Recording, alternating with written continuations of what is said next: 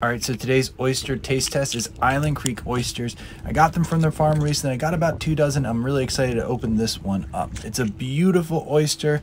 Gave it a taste and it's got a nice sweet, nice briny, salty finish and a lot of umami. I'm gonna give it a mm-hmm. 9.2 out of 10.